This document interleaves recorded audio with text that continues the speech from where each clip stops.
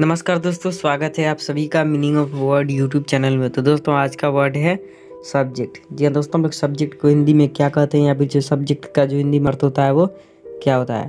तो चलिए दोस्तों, मैं बता दूँ। सब्जेक्ट को हम लोग हिंदी में कहते हैं विषय। जी हाँ दोस्तों, हम लोग सब्जेक्ट को हिंदी में विषय कहते हैं। और स्पेलिंग होता है सब्जेक्ट का जो कि होता है S U B J E C T subject means होता है विषय। आज की इस वीडियो में इतना ही। आशा करता हूँ आपको वीडियो पसंद आया होगा। पसंद आया तो वीडियो को लाइक कर दीजिए। अगर आप मेरे चैनल पर नए हैं तो आप मेरे चैनल को सब्सक्राइब कर दीजिए और कमेंट करके बताइए वीडियो कैसा लगा। तब तक लिए मिलता है अगली नए वीडियो में नए वर्ड के साथ। तब तक के लिए धन्यवाद।